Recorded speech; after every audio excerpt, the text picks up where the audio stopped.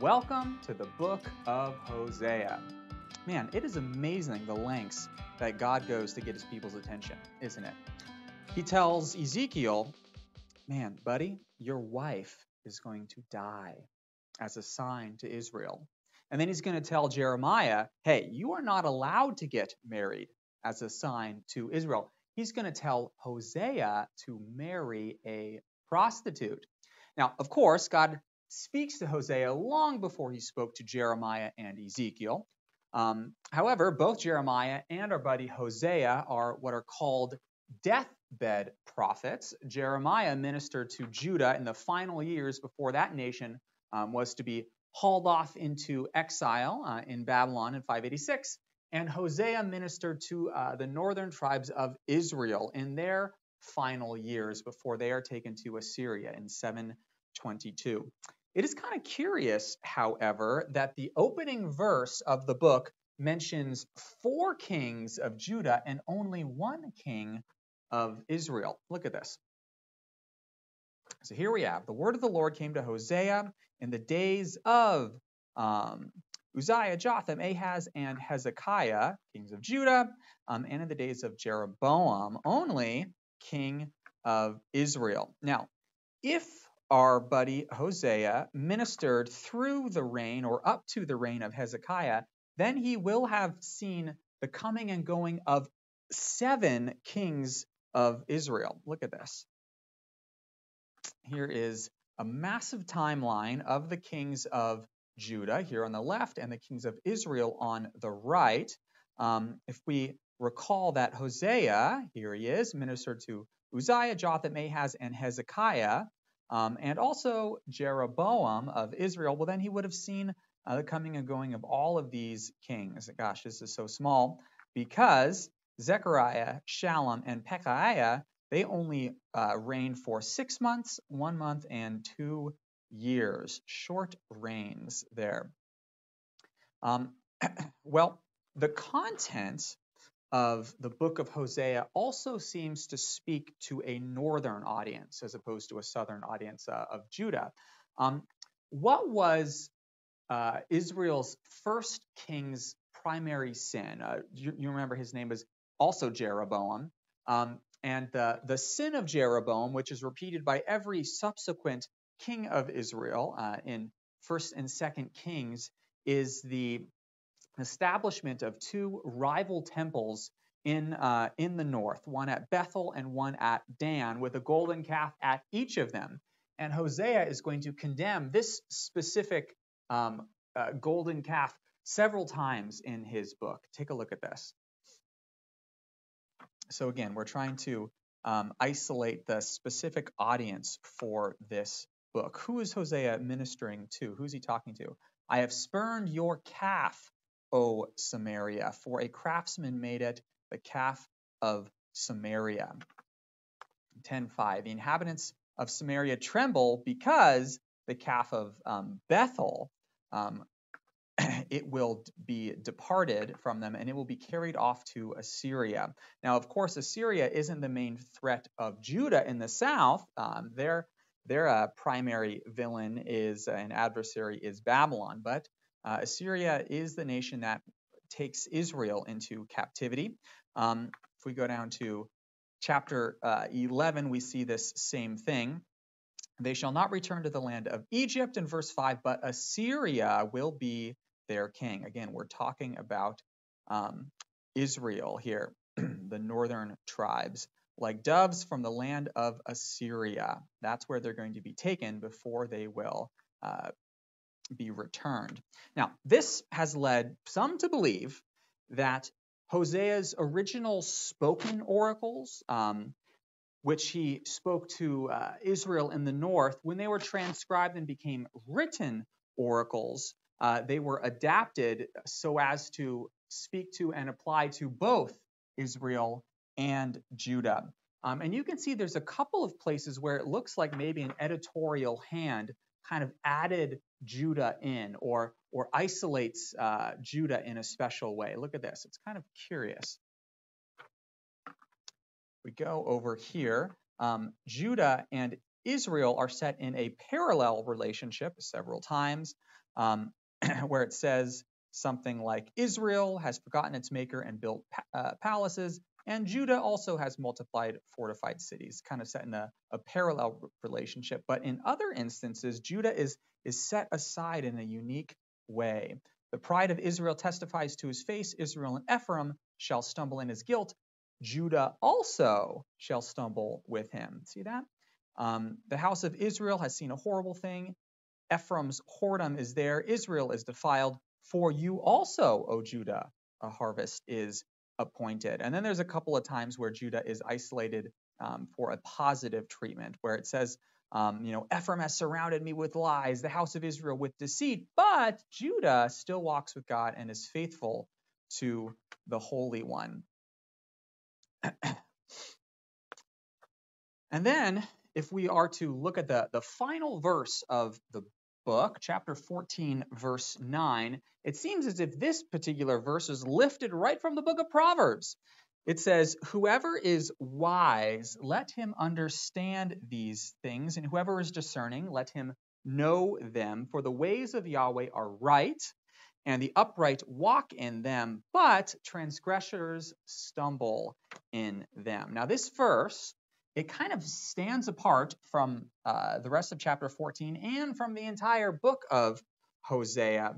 Um, and it acts almost like an uh, addendum, authorial addendum or addition to the book, uh, informing us and teaching us how we are to read the whole of Hosea. That's what 14.9 functions as. And I like uh, how a particular scholar, Gerard Sheppard, um, explains the function of this verse. Take a look at what he says. All right, Gerard, Gerald, what do you have to say? Well, originally, Hosea prophesied only against the northern kingdom. Yet, the final shape of the book shows many indications that his words were also, perhaps later applied to the southern kingdom, um, that they were generalized so as uh, to become relevant to the South as well. And this particular proverb, the last verse of the book, has the effect of relativizing even further the original particularity of the address. Um, that particularity being for the uh, the North specifically. Well, um, as Hosea is the, the first book in what is called the Book of the Twelve, that is the, the 12 minor prophets. Um, in the Hebrew tradition, they're all collected together into one scroll. It's called the Book of the Twelve. And it seems as if this first book here, Hosea, is, is teaching us through this final um, wisdom saying at the end that, that this book, the Book of the Twelve, is meant for all Israel. Israel and Judah. And their, their primary message is that um, both Israel and Judah will be judged for their covenant unfaithfulness. They'll be hauled off into exile, Israel to Assyria and Judah to Babylon. But one day, God will enable um, hard hearted Israel to repent from the heart, and they will be restored to the land, placed under a Davidic king, um, where Yahweh will pour his blessings on them. Now, this pattern, this pattern of judgment and uh, restoration is set on repeat in the book of Hosea. so, in the initial three chapters, uh, chapters which focus on the prophet himself, Hosea, and his wife, uh, there are three cycles of judgment um, here in chapter 1 and restoration, and then judgment in chapter 2, 2 through 13, and restoration in the second half of that chapter, and then judgment, restoration. And then we see this in the body of the um, book as well, with 4 through 10, judgment, 11, restoration, 12 and 13, judgment, and 14, the final chapter of the book, restoration. Well, let's begin our study of this book by meeting the prophet and his family. Um, let's take a look at the opening verse here, 1 verse 2. Poor Hosea. What a tough job. Um, when the Lord first spoke to Hosea, he said to him, Go take to yourself a wife of whoredom and have children of whoredom, for the land commits great whoredom by forsaking the Lord. Now, this is the, the dominant metaphor throughout the entirety of the book of Hosea. This word, we'll get it over here, um, whoredom, uh, zanach, uh, it's repeated at least 19 times throughout the entire book. And the, the concept here is that Israel's spiritual adultery, spiritual idolatry, worshiping other gods, the, the Canaanite god of um, fertility, Baal, um, and others, this is set on analogy with uh, the adultery of um, a faithless wife. Um, now, this only makes sense, this analogy of uh, idolatry as adultery, if we conceive of Israel's covenant with Yahweh as a marriage covenant. Um, so uh, when Israel entered into a covenant with Yahweh at Mount Sinai, Exodus 19 and 24, effectively they got married and then they moved in together when Yahweh set a tabernacle in their midst. However, Israel, um, the bride, was an unfaithful bride. And I think, I think we need to sit with this concept um, of, of, of adultery and marital betrayal for a minute, just so we can sense its weight. Um, what would you say is the most painful experience someone can undergo in this life as, as a human? Um, is it a, a, many years long battle with cancer or uh, going through the ordeal of, of bankruptcy, um, uh, financial ruin? I don't think so. Um, our greatest joys in this life and our most our deepest wounds come from relationships. Um, the most agonizing trauma that we can experience, that we can undergo, is, is I think, uh, the betrayal of a loved one. And of course, um, there's no greater loved one and no greater betrayal than, than that in a marriage relationship. And this is the kind of pain that Yahweh felt every day with the nation of Israel. And so he says here in chapter 1, I want a divorce. Um, that is effectively what Hosea's three children are meant to communicate. Um, God wanting a divorce. He says, um, You are to marry a wife of whoredom and have children of whoredom with Gomer. And um, Yahweh gives uh, Hosea names that, that he is to uh, name his children. The first is Jezreel. He has a, a boy named Jezreel, which means God will scatter, um, referring, of course, to the exile. And then he has a daughter. And, and uh, Yahweh says, Name your daughter no mercy, for I will not have mercy any longer on the house of Israel. And uh, his, his third child, a boy, his name is not my people. And this is just an undoing of that original covenant formula where God says, You will be my people and I will be your God. Well, here, um, Hosea's third child says, You are not my people. um, so these names are effectively divorce papers. However, however, that's not where the chapter ends. Um, here in uh, the latter verses of chapter 1, God says to Hosea, I want you to change your children's name. I want you to rename them. Look at this. All right, 1 verse 10. um, in the place where it was said to them, You are not my people, his, his uh, third son, um, that's his name. Rather, it shall be said to them, children of the living God. Change his name to children of the living God. And then um, your, your daughter, um, called No Mercy, I want you to call her name, You Have Received Mercy. Um, now, you may have been an, an unfaithful bride, um, Israel, but I, Yahweh, am a faithful husband, and I will take you back and I will gather you um, to the land. And when you return to the land, you will appoint for yourself one head. Now, I wondered who that is.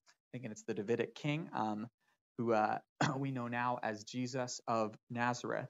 Now, the second cycle here in this opening section in chapter two, um, it's going to change genre. Uh, we went from narrative here in chapter one. Now we uh, have a section of poetry poetic oracles in chapter 2, and it's going to change the characters as well. We're no longer focusing on Hosea, the prophet, and Gomer, but rather Um, we're going to the source Yahweh, the husband, and Israel, the wife. And the main issue in the, uh, these chap this chapter, chapter two, is who blesses Israel? Is Yahweh the one who blesses his nation Israel, or um, is it her lovers, um, the, the Canaanite fertility god Baal, or or some other um, god that they are fornicating with?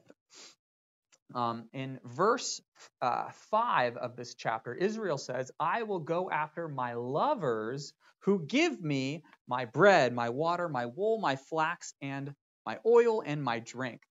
and then Yahweh, he responds just in total um, exacerbation, saying, She did not know that it was I, he says. It was I who gave her um, the grain, the wine, the oil, uh, the silver and the gold. And therefore, he's going to respond in judgment because you go after your lovers. Therefore, I will take away uh, her grain and her wine, her oil and her flax. Um, in verse 9. And then there's this, the chapter actually opens with this devastating conclusion. Look at this in uh, verse 2 of chapter 2. Plead with your mother, plead, for she is not my wife, and I am not her husband, uh, Yahweh says of Israel. However, um, Hosea always pairs judgment with restoration. And it seems like out of nowhere, in verse 14, um, look what it says. Look what Yahweh says of his faithless bride Israel. verse 14.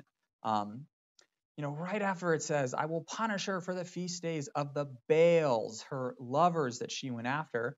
Um, in verse 14, therefore, he says, I will allure her, bring her into the wilderness, and speak tenderly to her. Look at this. This is amazing. Verse 19 I will betroth you to me forever. Um, and in that day, you will call me my husband. And, and, you will no longer say to me, my Baal. No, you will call me my husband. And in that day, I will lavish my blessings on you again. I will give you um, your vineyards and um, give you the grain and the wine and the oil. well, chapter 3 is going to return to uh, Hosea and Gomer. Um, their, their broken marriage of chapter 1 must be restored. So in verse 1, um, Yahweh says to Gomer, or to Hosea, Go and love again a woman who was loved by another man and is an adulteress. And there's this just this beautiful line where Hosea goes and he he looks for his his wife Gomer and he finds her and he discovers that she has become enslaved to her lovers. Gomer has racked up some debts with all of these these men and she basically has become their slave and Hosea pays her debts and takes her home. But then there's this curious line. Um, we're jumping here now to verse 3, where it says that Gomer must dwell with Hosea for many days. Um, let's take a look at this. This is this is a, a, bit of a mystery. Let's let's figure this out. So down here in verse chapter three, um, Yahweh or um, Hosea uh, redeems his wife, and then it says, "You must dwell as mine, Gomer, for many days." Um, you will not play the whore or belong to another man. So will I also be to you. Hmm, what does that mean? I will also be to you uh, in the same nature as um, Gomer no longer belonging to another man. And then this statement about Gomer dwelling with um, Hosea for many days is set parallel to this line in verse 4. For, it says, For the children of Israel shall dwell many days without king or prince, without sacrifice or pillar, ephod or household gods. And this is clearly a reference to the exile, where for many days they will dwell outside of the land and not have a king over them and not sacrifice in the temple. They won't be able to because they'll be in Assyria. Um, so how uh, what's the relationship between verse 3 and verse 4? Well, it seems possible that this period of time, this um, many days that uh, Gomer dwelt with Hosea, um, they Gomer will be in the same house as Hosea, but it's possible that they won't um, they won't sleep together. Kind of in the same way that Israel um, will not worship Yahweh um, with uh, with sacrifices at the temple. It, it, it seems like that's a, a, possible explanation for this parallel. But then it says afterwards, after this period of time, your exile, many days afterwards, in verse five, Israel will return to the land, and she will seek Yahweh her God and David her king. Amazing. Um, so Hosea, uh, here in chapter 3, he anticipates the reunification of Israel and Judah, their return to the land, um, living under a Davidic king, worshiping Yahweh, their husband, at a restored temple in the land. Um, it's really uh, astounding here. These first three chapters in Hosea are amazing. But before Israel can return to the land, she has to leave from the land. And we will discuss that, that captivity, the, the exile, and the reason for it in chapters 4 through 10 and 12 to 13 next.